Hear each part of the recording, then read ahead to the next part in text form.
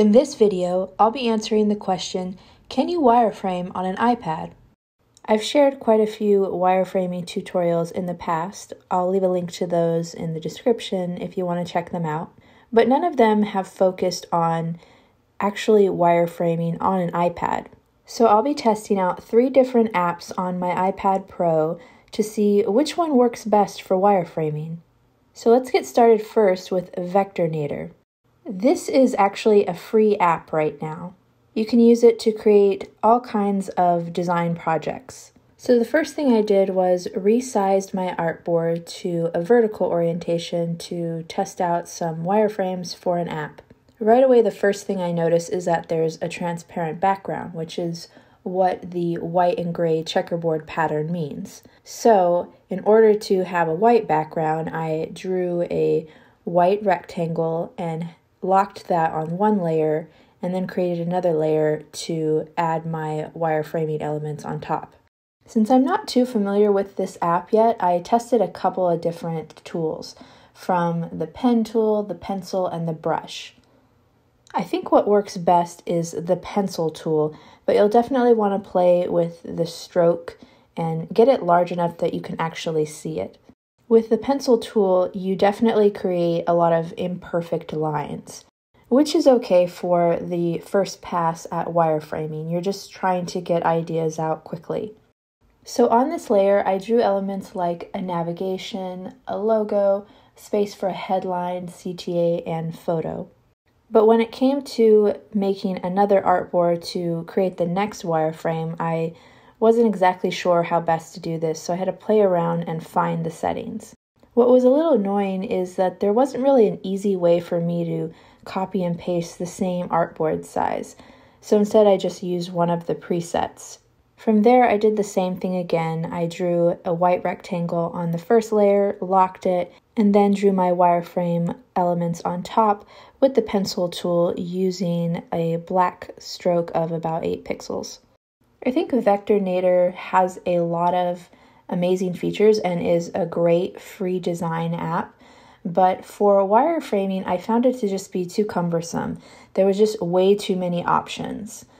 Again, when you're in that first stage of wireframing, you want to get ideas out fast. So, the more that you're concerned with formatting and creating straight lines and perfect shapes, the less time you're spending actually creating different layouts for your idea. However, I do think this would be good if you were trying to create more polished wireframes. But again, as someone who's used to creating wireframes on a computer, I just found the process of making a wireframe on an iPad to be really slow. I just couldn't work my fingers fast enough.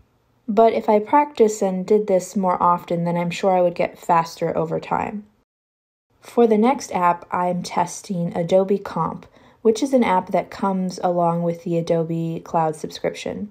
The first time you open this app, you'll get this nice little intro video that quickly shows you how to use it.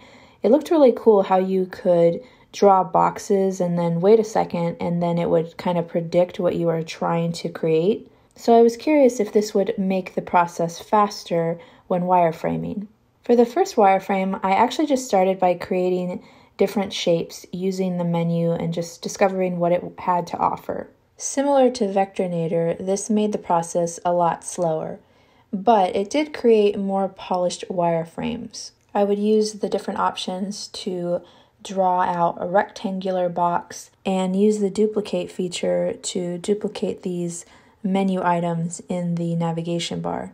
I also tried out the text so that I could emphasize that the top right hand element was a CTA and not just some other piece of text. Then on the second wireframe, that's when I just started drawing with the Apple Pencil and letting the app auto suggest what it is that I wanted to place there. For example, drawing a rectangle with an X to signify an image placement and several lines for a text box. I think with a little bit more practice, this would become more intuitive, but I still found it a really slow process. For the third app, I'll be testing Procreate. I happen to be more familiar with the Procreate app, so I wasn't struggling and figuring out how to do things as much as I was for Vectornator and Adobe Comp. One of the things that I love about sketching with Procreate is how it sort of auto corrects your lines. It makes them straighter and creates shapes if you were to draw a box, for an example. You can, of course, adjust these settings per each brush that you use, but I think it's a nice feature. You noticed how when we used Vectornator, it did not correct the line at all, which gave the wireframe a very rough feeling, which is okay, but if you want something that's a little bit more cleaned up as you go, Procreate might be a good option.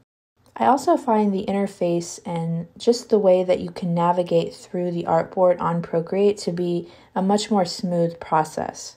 You can pinch and zoom and rotate easily without accidentally touching another tool and creating a line and doing something that you just have to undo. The layer panel is also more intuitive to me and the way that you can create selections. So if you wanted to copy and paste things, it's super simple. You just draw the lasso tool over it and it's just easy to duplicate elements.